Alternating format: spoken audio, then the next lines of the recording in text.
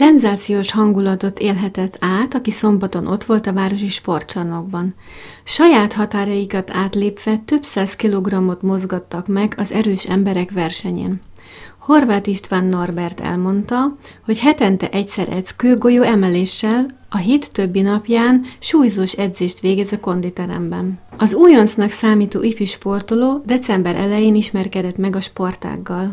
Kőgolyó emelést szoktuk otthon gyakorolni, és ö, traktorgumi forgatás szoktuk, az 400 kilós van otthon, kőgolyóból van 95 kilósunk, van 110 kilósunk és 130 kilósunk.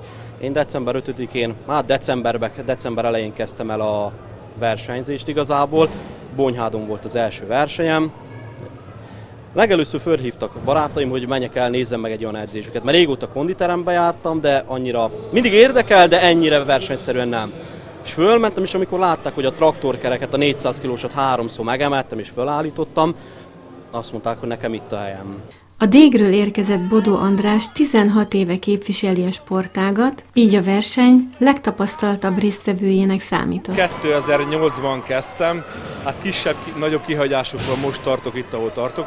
Hát étkezésben igazából nálunk nincs válogatás, hogy minél nagyobb tömeget szeretnénk elérni egy szezonban, akkor minél többet minél, minden nevők vagyunk, szóval nem válogatunk semmiben. A felkészülés heti négyszeri terem, illetve a szeres edzésekre megyünk rá. Így többen a mi régiónkból mi öten vagyunk. Én, se, én segítem a fiúkat, mivel én vagyok a legidősebb a csapatban, én 47 évesen, és próbáljuk tartani ezt a szintet, amit most elértünk.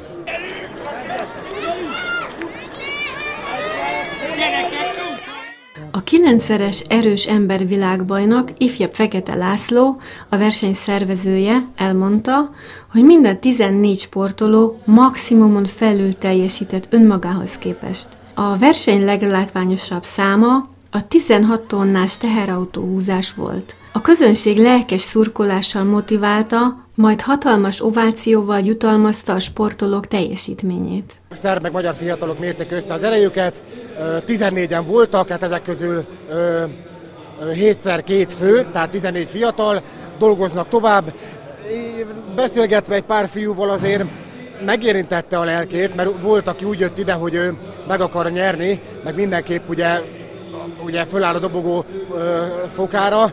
Hát ugye picit elérzékenyülve mondta, hogy a kamionnál nem úgy alakult neki, ahogy ugye tervezgették, így ugye az ezelőtti, meg az előtti rendezvényt ők nyerték meg, de ebből a szempontból jó, hogy nem ők nyertek, bár nem mintha ha nem örültem volna az ő győzelmüknek, hanem ad egy plusz motivációt a fiúknak. Az erőemberek mindennapjait meghatározza a sport, amelyet képviselnek, és megtanítja őket kitartásra és elszántságra.